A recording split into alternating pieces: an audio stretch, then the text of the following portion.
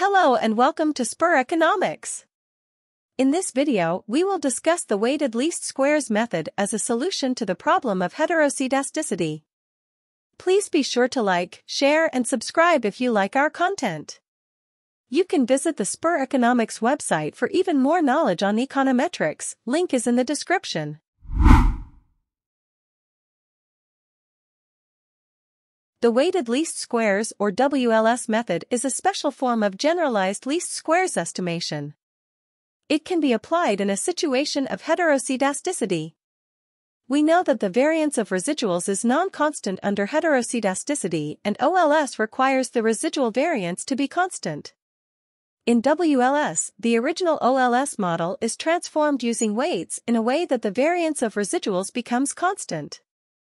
Hence, the problem of heteroscedasticity is removed by transforming the model by weighting the observations based on their residual variance. For a meaningful transformation, it is necessary to understand the type or pattern of heteroscedasticity. The pattern is shown by the relationship between the variance of residuals and variables in the model. Based on that relationship, we can decide the weights and transform the original model.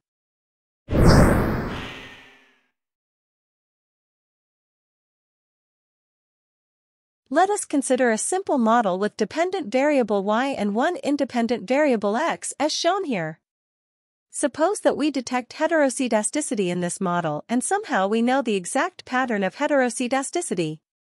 For illustration, let us consider the relationship between the residual variance and the independent variable x as shown here. The squared residuals are a function of the independent variable x and they are positively related. That is, as x increases, the residual variance or squared residuals will increase. As a result, variance of residuals will not be constant. In such a situation, we can transform the original OLS model using the weights based on the pattern of relationship where we know that the variance of residuals is a function of x squared as shown earlier. There are two ways that we can understand the WLS from here. First, we can transform all the variables in the model by 1 upon under root x squared. This will simply be 1 upon x. Therefore, 1 upon x are the weights for transforming all the parameters and variables in the model. The second way to look at this is through minimizing the sum of squares. In OLS, we minimize the residual sum of squares to estimate the parameters. However in WLS, we minimize the weighted residual sum of squares. In other words, weights multiplied by the residual sum of squares or squared residuals are minimized. In this specification, the weights will be equal to 1 upon x squared. WLS will minimize 1 upon x squared multiplied by squared residuals. It is important to note here that both these specifications are equivalent. The only difference is in the way that they are expressed.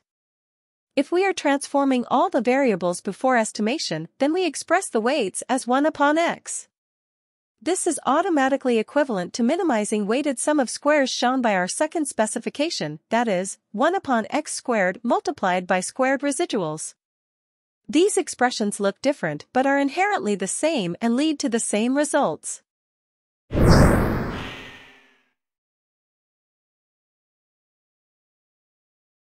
In the previous section, we discussed how to transform the model using weights. However, we assumed the pattern of heteroscedasticity to be known. In practice, it is not possible to know the exact pattern beforehand. Therefore, we must figure out the pattern of relationship between the residual variance and the variables. This is necessary because the weights in WLS are based on this pattern. If we choose incorrect weights, the results will end up biased and unreliable. There are several ways to determine the pattern of heteroscedasticity and the weights for WLS. Here, we will discuss two commonly used methods for this purpose. Let us take a look at the first method of determining the weights. In step 1, we simply estimate the original OLS model and obtain the residuals. These residuals will be heteroscedastic in nature and related to the variables in the model. In step 2, we first take the square of these residuals or estimate the squared residuals. Then, we take the natural logarithm of the squared residuals as shown here.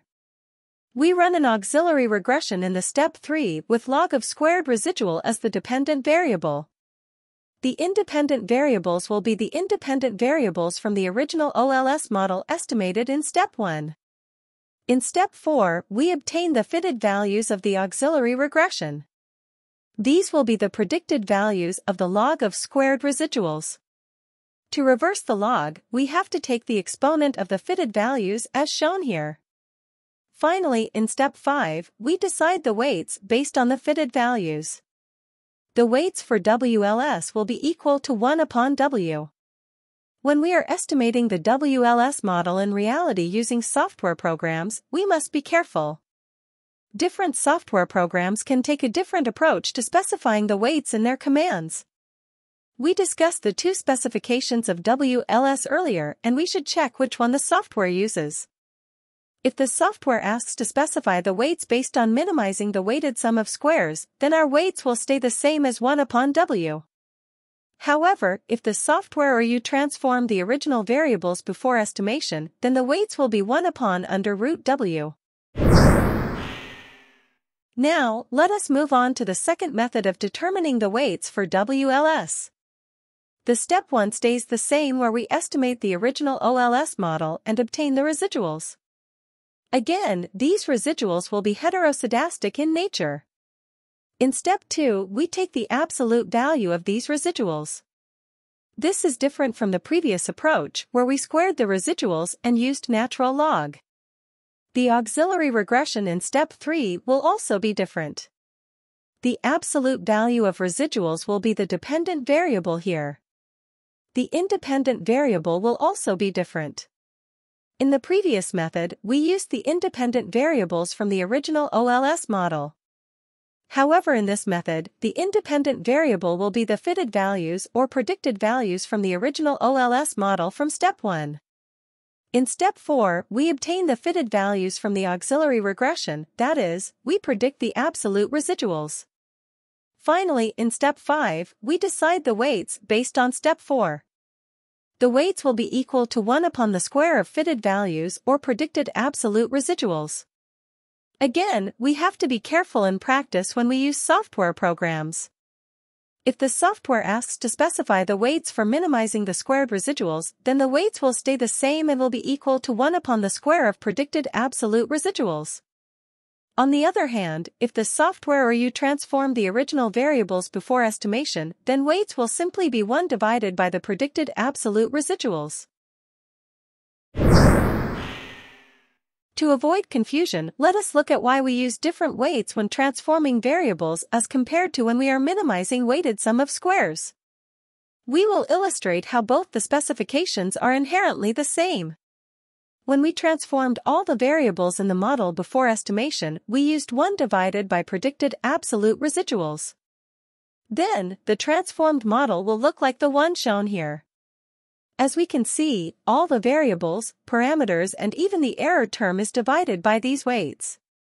The squared residuals from this new error term will be equal to mu i squared divided by the square of predicted absolute residuals. Since we minimize the weighted sum of squares, the weights now end up being 1 divided by the square of absolute predicted residuals.